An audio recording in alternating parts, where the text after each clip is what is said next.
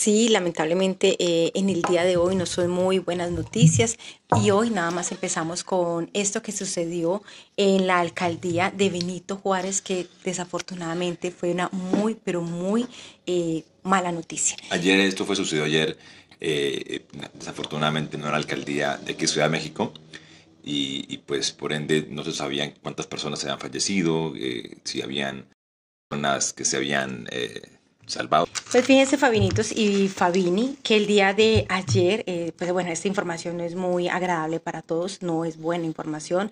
Eh, se reportó un incendio en el sótano del Centro Deportivo de Benito Juárez en la alcaldía. Desafortunadamente eh, fallecieron cuatro personas tras este muy lamentable hecho. La fiscalía está investigando qué fue lo que sucedió o qué fue lo que pasó con este suceso. La jefe de gobierno, Clara Brugada, eh, mostró apoyo total y la eh, solidaridad a las familias que perdieron a sus seres queridos. El incendio inició en la bodega de usos múltiples. Es más, se habla que eh, supuestamente en esta bodega se estaban haciendo como algo, cosas como de carpintería, como arreglos. Es que fue una zona de carpintería de, de la alcaldía. Entonces no se sabe eh, razones ciertas qué fue lo que pagó, se, pasó. Se siguen investigando los hechos, la fiscalía sigue pendiente y hasta el momento esclarecer realmente lo sucedido. El día de hoy se reportan eh, cuatro familias que desgraciadamente perdieron sus seres queridos. Realmente es triste, es triste esta información eh, de lo que está sucediendo y de lo que sucedió el día de ayer.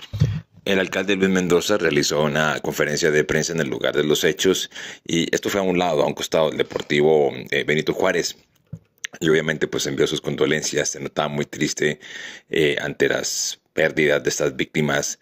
Eh, en su cuenta oficial, eh, Benito Juárez compartieron a nombre de las víctimas todos los que, eran trabajadores de allí, de esta misma entidad, eh, pues, obras que estaban allí realizando en, esta, en este lugar. Pero pues ayer sabían, no, se sabían cuántas personas se habían fallecido, se decían que eran dos, pero desafortunadamente las otras dos que llevaron, otras dos que llevaron a, a, un centro asistencial terminaron por perder la vida. Las, los nombres de las personas que perdieron pues su vida el día de ayer, esta tragedia.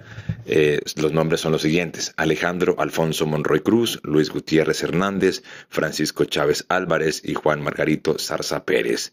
Dice lo siguiente en el comunicado del alcalde: Estoy triste por esta lamentable pérdida de cuatro trabajadores de la alcaldía Benito Juárez por este incendio que se dio. Lo más importante es acobijar, apoyar a todas las familias. Son vías humanas, son momentos dolorosos para la familia de Benito Juárez. Estamos de luto por, la, por lo que acaba de suceder y estaremos más eh, que al pendiente en cada paso y cuestión que tengamos que hacer para apoyar a las familias.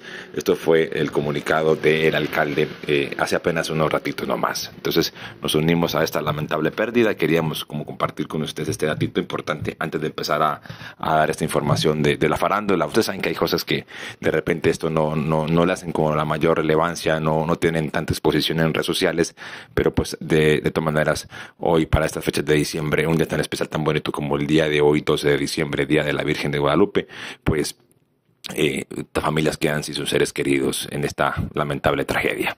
Te leo y continuamos ya metiéndonos en temas de espectáculos. Sí, eh, Fabín, eh, por el momento eh, siguen las investigaciones, esperar eh, a ver qué sucede con este caso. La verdad sí es muy triste, muy desalentadora esta, digámosle, esta desgracia que está viviendo en el momento Benito Juárez con este incendio. Hemos llegado al final de este video. Pero tu opinión es lo más importante para nosotros. Quiero invitarte a que comentes aquí en la caja de comentarios. Suscríbete en el botón que ves en pantalla y haz clic en la campana gris para que estés notificado o notificada de las mejores noticias. Nos vemos en un próximo video. Hasta la próxima.